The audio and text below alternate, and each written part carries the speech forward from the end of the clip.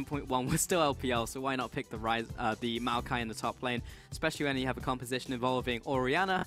So that will be everything locked in there. So Flandre in the top lane. playing, you know, offense, unless he really gets going like uh, Kabe was able to do.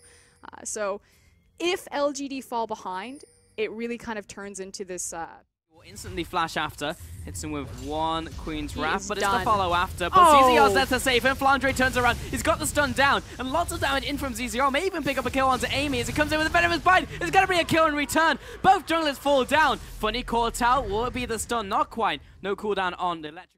Uh, GodV pushing him underneath that tower, even taking all that damage from the minions. He is going deep. Star Search lands, and the minions are running out. He jumps out there, picks up the kill, walks away. GodV with the 1v1 kill under tower and that is what we call. ever. Flandre pops his ultimate, gets two stuns down, he's on the run. Sapling is following him after, and that's the real MVP as he hits him with the arcane smash and punches him in the face. And Flandre should be falling over, hits the Basker. Oh no, slaps him on the way over, got him. That was unfortunate. He had the flash. He held on to it a little bit too long. I think he could have pulled the trigger early. That's Regenning. Six health there. Meanwhile, top lane. Tank is on his way. He arrives in top lane. Funny knows he's under attack, so he instantly tries to get his passive off, but he is. There's no way Maokai is gonna get away from that assault, and that is another kill to Snake. It was a small window, but then Tank came in and just kicked the window open. Yeah. Uh, and this will surely be the first tower, but now it's kind of a race. LGD, they don't have the creep wave set up in time, which means that Snake pulled the trigger, they get the first tower Oh, first. PYL Imp, you're gonna have to block that. He gets it, and one more. Okay, he gets the crit on top of him. Oh, Deadly Flourish. that was that was Oh, no! scary. That's your grenade. Bounces onto Imp as well for the enhanced damage. He's got the crit. He's running after him. He does have boot three. Imp, can he get away in time? This is such a scary Oki running after him. Minions getting in the way. He's closing the distance. He's diving. This is too hero, and he falls over. Imp will just kill him by running away. I'm telling you, it's the secret. Here comes Unreal. GodV, straight You line. think he's gonna duke, but instead he just doesn't do anything. And Mo's dragged into this one. Funny jumps on top of him with a twisted advance. So much damage. Tank's on his way. He's gonna jump after GodV, finds him with the W. And Funny now on the retreat, has to land the arcane smash, does what he can, but ultimately he's gonna hit the death chamber for a one-on-two trade for Snake. and suddenly Aurelion Sol is about to be a big deal. Only sitting on the catalyst right They'll push in this middle tower. This is the rotation that you can see from them. Jhin goes up to the mid lane, comes in with the Stark, uh, the ultimate. Flandre comes in with the slicing maelstrom, obliterates both Amy and GodV. Ultimate over the wall, in for the misfortune, blocked out. Ace on a hole there from ZZR. And the two kills should be out. Funny was uh, they're not having a good time. Critical opened up, and no one goes down. So Oki back into the mid lane will clear out this mini wave. And Funny may even just pick up the kill. Gets the movement speed after Funny. Finishes him off in the 1v1, and Funny just disrespected him. Let's take a look at that mini map. There is a tower in between uh, Flandre and safety right now. So. That's all he really needed in the end. Lightning Rush is really good as an ability. Snake will use this opportunity to try and go into the Baron, but Oh, Amy's in Misfortune pit. Ultimate's coming out. Amy comes over the wall, but it's already Assault to finish off the Baron. Amy caught in the pit, but he used the ultimate on top of himself. He'll get the kill. GodV coming out there. It's a one for two trade so far. Snake come out, and that's another two for two. And just a dance back and forth. PYL caught within the ring of stars. Imp over the wall. TP coming in from Funny, but it's a little bit too late despite the home guard. Jhin is already on his way out, and it's just that blue of secured for GodV. But the damage has been done. Snake managed to retain Baron on at least three members for them. Uh, unfortunately, it's not on their top laner, so they can't use it in a split push scenario when the 1-3-1 has been working out so well for them. Uh, but good cleanup Wait. from LGD. That was... What? Oh, PYL is dead. It was the... They are one member down, of course, but Amy rotates into the mid lane. Voice of Light comes out, GodV caught out, and PYL launches the ultimate, but he's caught within the star circle of Tank. He'll find the next one. Boop to death. 3 and 0. Mid tower opened up, and that's exactly what Snake were looking for. And I do want to say that that was led by Mo. Yeah, it wasn't. Uh, it was Tank that came in and did the majority of the damage, but Mo flashing over the wall and laying down that Zyra ultimate. We said at the beginning of the. The TP. LGD are actually starting off the Baron. There's one way to deal with the issue. GodV is the one zoning away. The TP coming in from Flandre. It's very late though. Curtain Call will start chipping away at the tanks. Voice of Light throwing at Amy. He's going to have to take a step back as Funny is the one to attack the Baron. He's going to go over to the Rex side. Snake, what do they decide to do? They still have the ultimate available from Flandre. Amy's low. ZZR thinking about the flank from the side, but they do have the inside track. Will look towards the mid lane, and ultimately LGD get away with it. And Snake have just been late this entire game. They got the first Baron off of a 50-50 50, which frankly they probably shouldn't have because it was set up poorly, but slow to the punch this time around punishes them even harder, and LG walk away with a free Baron. Time after time, and that's really the, the crux of this story for us that you highlighted, is that Snake have just been late once again. They need to start setting alarms to their meetings because LGD every single time has been at that objective before them. I mean, there was a problem in miscommunication, the Baron that could have finished off the game for them, that they were in position to finish off, has completely just been thrown away into the gutter. However, Tank, let's go throwing this down the mid lane. I mean, it's moving very slowly, and honestly, LGD can probably just walk to the side. But this is an engage from Funny onto Mo, blown up immediately. LGD are turning this game on its head. And it stalled out long enough. Now that they have the Baron, LG are in full control. The Gold League doesn't show this, but their champions are online. Flandre is just trying to race and get someone to respond to him, but it's the Rek'Sai who has the ultimate. She can deal with this, force him to back, and then rejoin her team if she wants. I mean, Tower's dead. This is going down so quickly. You all of this out from Implant, GodV, and PYL with this mini wave on top of it. They're going to look to take away Nexus turrets right here. Voice of Light lands onto Imp. Celestial expansion, damage onto Funny. He'll jump onto a target, take him out into the Guardian Angel from both of these players, but there's a trap there to potentially finish off his enemy.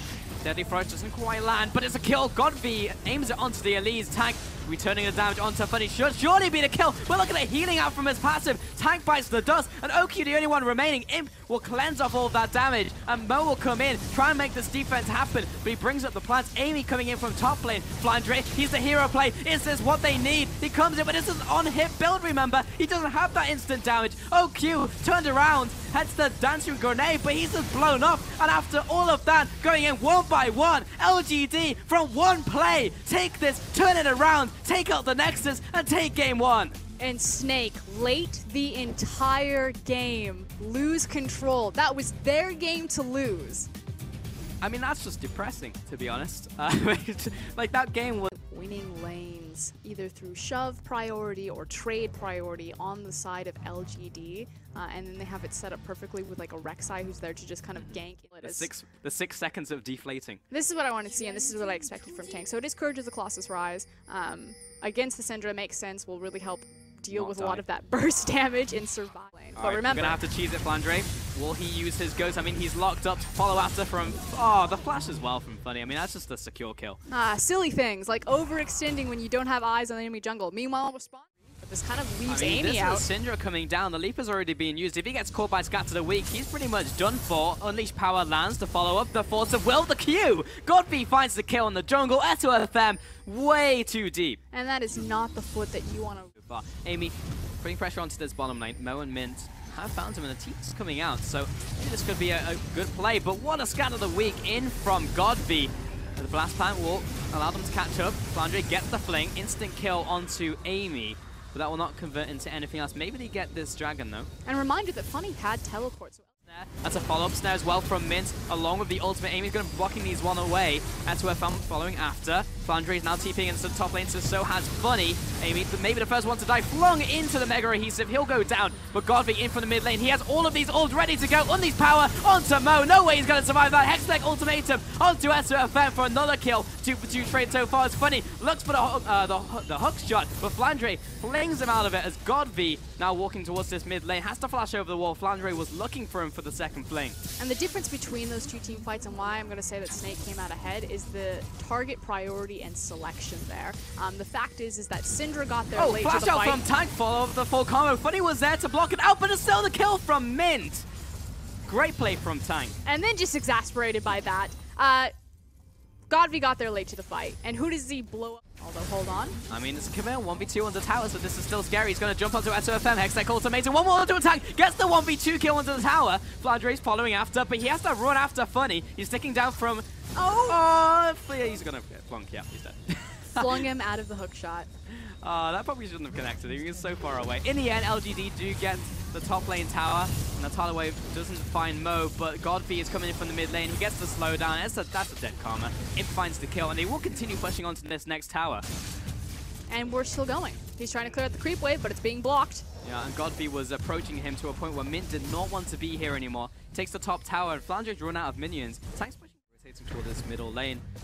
And this is definitely a game where one piece no, of no. CC lands and something goes wrong. Mo almost killed and instantly, and Imp just assassinates the support on these two items. SOFM chased down, almost taken out with that second tier of ace in the hole. And yeah, Praise throwing and weaving in the auto attacks. Oh.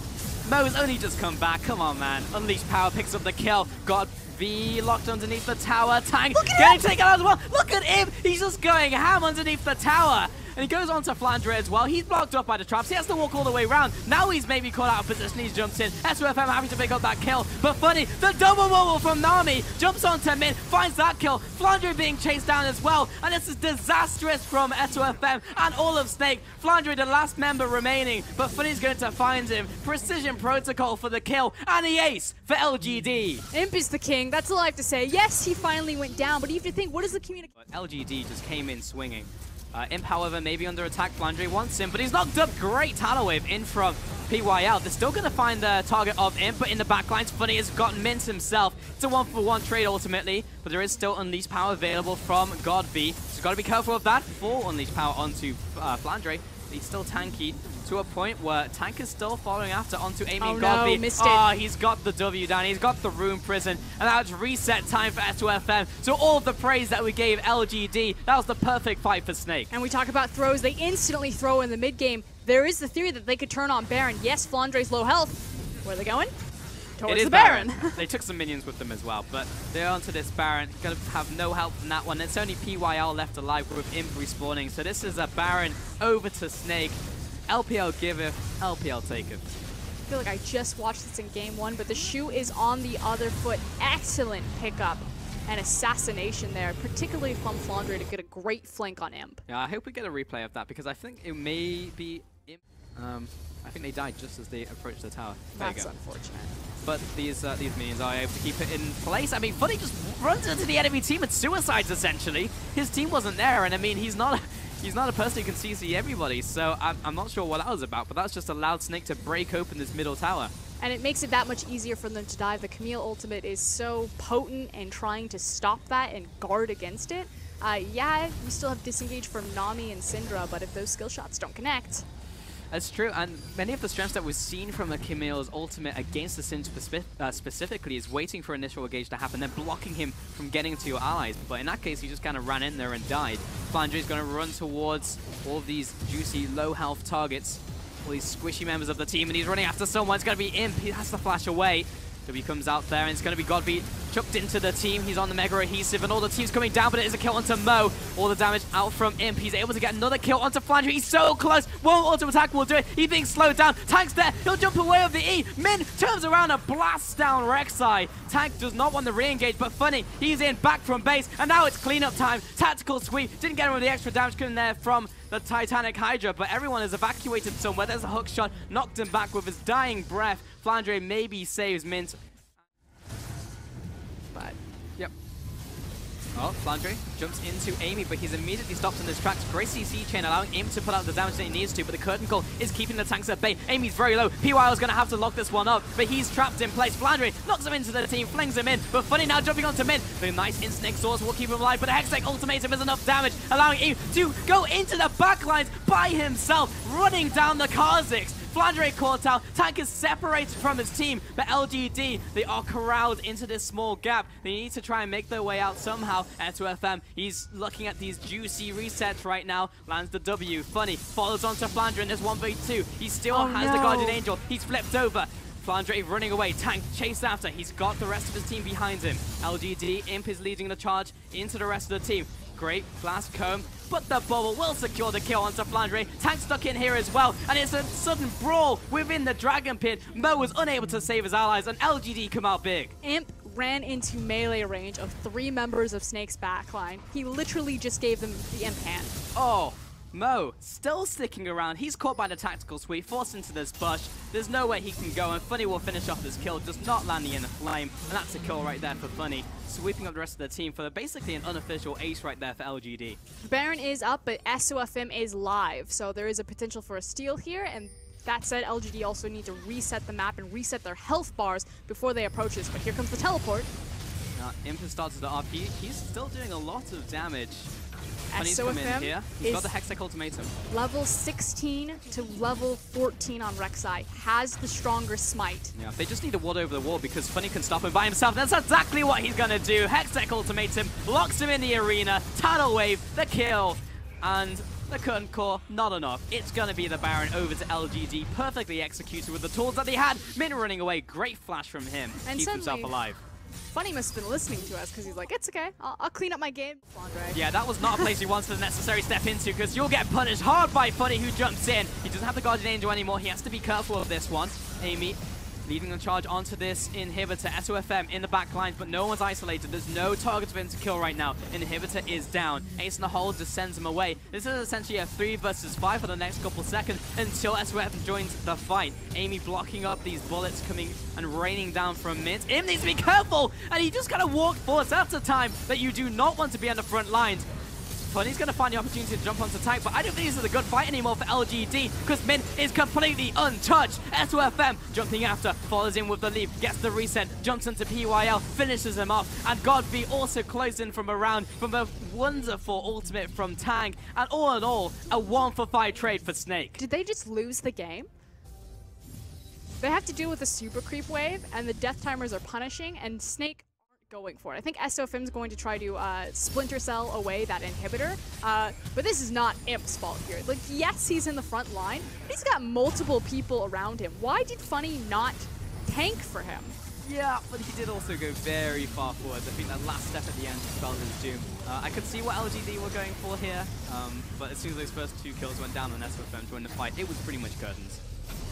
And this is kind of the, uh, it really illustrates the difference between LGD and Snake that LGD have the one thing that Snake need, which is like decisiveness. Even if it's the wrong call, as long as you're decisive in making it, something happens. LGD or Snake just kind of passively watch the map lose. And that's what gets them into trouble, like what we saw in game number one. So, like, again, LGD, they've got the Baron creeps behind them. Nine times out of ten, teams gonna be like, you know, we broke the inhibitor, we did our job with the Baron, let's just reset the map, we'll set up for the next one, and we'll continue to siege. LG like, nah, let's end the game right here. This is just so LPL. Like, we came in today and it was just like, you know, honestly don't know which team's going to win. It just depends, like, what the substitutions do for Snake, how LGD are going to adapt and come back in, you know? It's like, what LGD are we going to see? And it's just so back and forth to the point where it's just like, yeah, classic, classic LPL. Have to hit you with humble brag. I did say that RNG and LGD Yeah, win today. yeah, I know, but to be fair, that first series could have gone either way. Like this game, even Snake, like we've had so many situations where they could have snowballed and just won. Maybe this one less than the last series. All I'm but saying- yes, Frost, you called it. Is I'm really good at flipping coins. I mean, it's a skill, you know, in your own right, but maybe in this case it was a double-headed coin because LGD, in the end, I feel like it's it's going up against a crippled Snake, you know, coming out of like the problems that they had last week, um, and then trying uh, the roster rotation in in the first game. So it's not a Snake performing like all um, all those systems firing at the same time. I kind of feel like at this point it's almost a Hydra, that it's just got too many heads and they're going in too many different directions, you know, trying to fight over the same resources. Uh, and Snake just kind of almost need to go back to basics and just figure out the iteration of their roster that works for them. This one's been a bit more stable, but when you look at game one, that really should have been their victory. Uh, for sure. But Snake, this dragon is up. This is a redeeming chance for, for Snake to come back into this, and they have the priority over this, as well as the vision. Starting it is a bit interesting, but Imp is already at the bites. He actually decides to recall for his last item. And that's an issue because this uh, Elder Drake is burning quite quickly. Imp still probably about 15 seconds out. Yeah, he's uh, he's doing the, the quick 100 meter. Okay. Flandre, he's looking for someone to flip. They're just be trying to Amy, buy but time Amy for does it sideways. And SOFM's low. Is this Mike going to go to? It is an SOFM secure.